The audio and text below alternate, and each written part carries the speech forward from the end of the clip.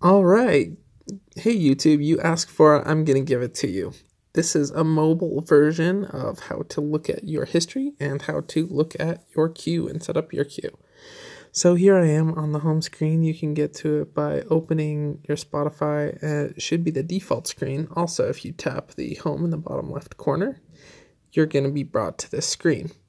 Now, typically from here, you'd either select something from one of these lists that you want to jump back into, you want to personalize playlist for you, something that you've listened to a lot, podcasts and the like. You can also go to browse. Browse has a few other options for genre for the auto playlists that are made and the like. So you can come into here or we can do a search. So let's do a search. This screen will first of all show you things that you've searched for recently. Doesn't necessarily mean that you played them, but you searched for them. So let's come in here and look up the XX. And here, what we want to do is, if we wanted to queue up intro, I'm going to tap on these three dots on the side or tap and hold this one, and this menu is brought up. From here, I can hit add to queue. Now, I'll show you where the queue in is uh, where you typically see a song playing on this bottom section. We see the up arrow it says Can't Hold Us by Pentatonix and has a play button. I'm going to hit that. This brings you up to what is currently playing in kind of the view that you might be used to. You can see the XX is the next one that's going to play after this song.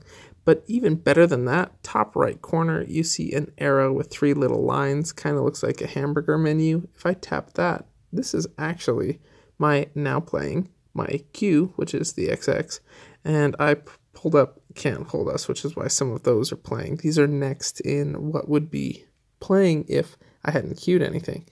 You can adjust your queue if you want to uh, move it around. You had multiple things. You can slide it up and down by holding the hamburger icon on the right and sliding it. If you want to remove something, there's a dot on the left you can tap on and then hit remove.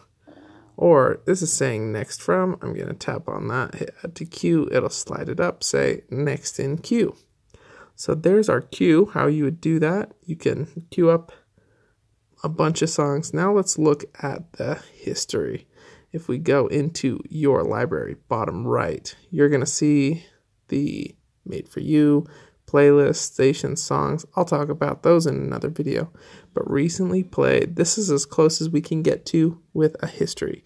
Not perfect because this does not break it down by all of the songs that you listen to. I listened to several of the songs by Alessia Cara, but those don't show here. It just shows the album or the playlist or the artist that I was listening to last but it does show it there. This is as close as we have to a history list. It's called the recently played list under your library there.